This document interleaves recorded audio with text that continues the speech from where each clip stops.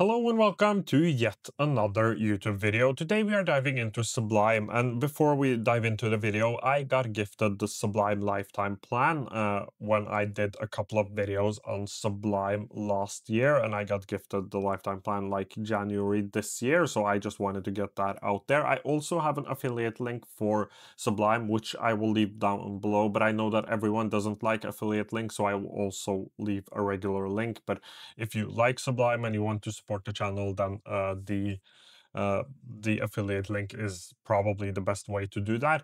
Uh, now to the video. Uh, Sublime is a note-taking app that is a little different. I call it a different kind of second brain, and that is the whole point, the whole uh, idea behind this application is that it is supposed to be a different uh, second brain, which I really like. Uh, I have played around with this application. Uh, I am currently playing around for a specific video. Uh, I'm playing around with Sublime to see if you could use this as your only note-taking app with a task manager. So that is something I am playing uh, around with. But currently it is a part of my workflow as an inspiration app, more like a commonplace book. Uh, but as I said, I'm playing around with it for a video. So I thought that I would take you through my uh, workflow in Sublime uh, and also then go through some of the pros and cons. And just let us start off with the con. Uh, it doesn't have a dark mode, which I know a lot of people love. And for my YouTube videos, like dark mode is important because it is easier on the eyes of uh, the viewers. So that is just um, it is something it doesn't have that I have to mention. Uh, you can press the plus here to upload stuff, write stuff, paste links, uh, create canvases and collections. I will show you my uh, collections. I don't use Canvas a lot, at least not yet, but I think I will start using it more since I've started using this more and more for uh, my writing and my content creation. Um, and I think that is where like Sublime uh, shines. If you want to create something with your notes, if you have a lot of highlights and you want to create something, uh, I think this is a great application. Uh, so the way it works and the way I use it is that uh, like Sublime did not make sense to me until I uh, decided that I wanted Readwise, which I'm really happy about. I will do a video on Readwise later, uh, but I am so happy uh, that I ended up using Readwise because now most of these things you see here, like the desk, uh, uh, Greek lessons, um, I have more, I think, more Greek lessons, even more Greek lessons the strategy strategy behind Dia's design. Uh, this is also from Readwise. All of these are from Readwise. So I rarely actually put things into the application. I come in here to find things. Uh, that is mainly what I use this application for. Some things I add, like this is um, an idea for a social media post at my uh, day job, and I should probably put it into uh, a collection for that.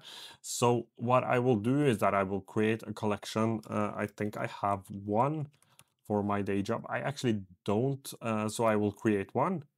Uh, I will make this private um, and I will create it. So you have private and uh, public collections. A lot of mine are public. Uh, some of them are private. Um, when a collection is private, it is out of one of two reasons. The first one is that it is personal things, like these are my social media links, uh, which you can see like below every YouTube video. These are the links. These are like my color codes. My affiliate links are down here. Um, so these are just things I like mark and I copy paste. Uh, so that is the first uh, type of thing I won't make public like the one collection I just made uh, was for my day job where I have a lot of ideas uh, or things I've read that fit into that. Um, uh, or fit into my uh, day job stuff, I won't make that public. But I also have another one, and this is AI destroying our thinking is an example of that. Uh, so uh, this is something um, that isn't finished. So the idea doesn't feel finished, but once it is finished and I'm ready to like actually write about it, I will make it public. Um, apart from that, like I have inspirational things, I have thought provoking things, I have like mental health stuff, and these are just the ones that are pinned. I actually have a lot of them. Um, I don't take, I like, I don't um, think too much about uh, about the collections. I just try to add as many as possible. Sometimes, like, I will have an idea of a blog post or a social media idea that I will make a collection for it. Uh, but that is like the first way. That is the inspiration gathering process I have inside of Sublime. There is another way I am using it, and that is let's say I am looking for something about productivity. I will go into the Sublime home and I will search for productivity and I will press enter and I will find everything related to uh, productivity. Uh, and like I can think that this one, for example, is really interesting. I will open this up and I will check uh, the related cards and I will go like this and I will add these to my collections. Uh, so uh, let's say this one is really important. I would uh, add it to my collection productivity.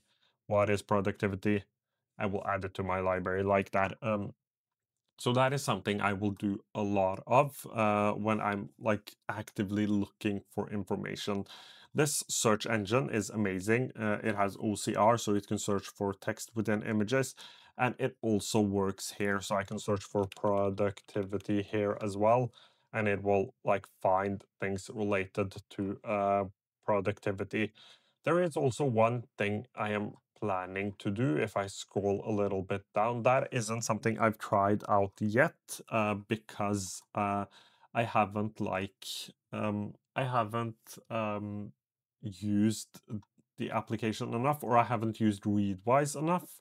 Uh, I just got my Kobo like two weeks ago, so I'm starting reading a lot more. Uh, if we just take this one, I would probably add all of these to something called, uh, to a collection called Greek Lessons, the name of the book. And I would then write, I would press this plus, write, and I would write my thoughts on the book, uh, more like a book review for myself in case I ever wanted to go back, my thoughts on it, what I think was important, and I will add that into the collection as well. So I will have probably have one collection for each of the books. And what's cool about these cards is that they can live in different places. So that is something I will definitely uh, test out. Um, so that is like how I'm using it. One thing I would really like is that uh, if I click into my own library and check related cards, it would be amazing if it showed me my own related cards, like the related cards that are in my library and not in uh, all of Sublime. That is actually something they are working on uh, according to their FAQs. That is something that is coming. Uh, so um, that would be an amazing feature. Dark mode, of course, would be amazing. Um, the mobile application is okay. Um, I don't use it a lot. It is more for like scrolling to your ideas rather than uh, like using it as you would use this uh, web version, which I'm currently using. Uh, the canvas is also something I wanted to test out uh, a lot more. Uh, so this is something I can um, I can use my collections. So let's do what is productivity and let's create one uh, canvas. Um, this isn't something I use a lot. I think canvases are great for like connecting your uh, different ideas. This is a TL uh, draw, uh, so I can connect different things together like this. I will go ahead and delete uh, my uh, collection after I'm, uh, or delete my canvas after I'm done with it. I just wanted to show you that it is possible to like create um, really good um, whiteboards in here as well. Um, but that isn't something I have been using uh, a lot. Uh, I don't know why yet, uh, but I will definitely do it. I can also add collaborators to this, which is also a great feature. So um, I think this is, again, as I said many times before, this is tailored to people who create something with their notes. Uh, I think, like, in the long run, it can be used uh, by people who just want to see a lot of interesting things and maybe use social media less uh, and connect ideas more. But Um, for an application like this to work, you have to capture a lot of things. And as I said, um, for me personally, it didn't make sense until I got Readwise. Now it makes so much more sense in my workflow. Even uh, not Readwise until I got my Kobo like two two and a half weeks ago. It didn't feel like it made that much sense, but it feels like it makes uh, much more sense uh, now. So again, that is like highly personal. It will be different from uh, person to person, but I find myself using uh, Sublime a lot more uh, after I uh, purchased both Readwise and a Kobo, and it makes so much more uh, sense now. So uh, I am getting, like I've said before, that I probably would not use this application if I hadn't gotten the like free lifetime plan. I am getting closer towards I would probably use this application, but I don't think that I would figure out how it worked uh, if I didn't have uh, the time uh, with the lifetime plan to like just play around, getting Readwise and things like that. So I am getting closer towards um, towards being um, being happier about the application and uh, knowing uh, how to use it and also knowing like how it fits into my uh, workflow. Uh, so I am getting like, I think I'm a bigger fan of Sublime now than I was uh, before. Uh, when it comes to the pricing of Sublime, I will quickly take you through that as well. So you have a yearly plan for 70 $5 each year. You have uh, a premium plus plan uh, for 100 uh, each year. With this, you get unlimited cards, collection canvases, advanced privacy and collaborations, uh, unlimited related cards, uh, integrations, Kindle, Readwise, Raycast, uh, CSV, and Zip. Uh, premium badge, uh, and also early access to features and priority custom support. This isn't too expensive actually compared to a lot of the note-taking apps with um, with similar um, with similar features, uh, and also like the note-taking applications in general are quite expensive. Um, this is the Premium Plus plan. With that, you get the Substack paid membership, you get discount on merch, uh, and you get access to our archives, Vault, Vision Deck, Raw, Figma files, and other behind the scenes. You can also pay for the lifetime. With that, you get a one-on-one onboarding call as well as investor uh, updates. Uh, so that actually covers the pricing of uh, this uh, application. So uh, that is like my thoughts, the pricing, how I use it. I will be back in um, a couple of weeks, probably a month, to do a more in-depth like tutorial and give you my thoughts on how can this be used as or if it can be used as your only uh, note-taking app together with a task management app, because this application, of course, does not have tasks, which might be annoying to some, but I think it is really important for an application like this.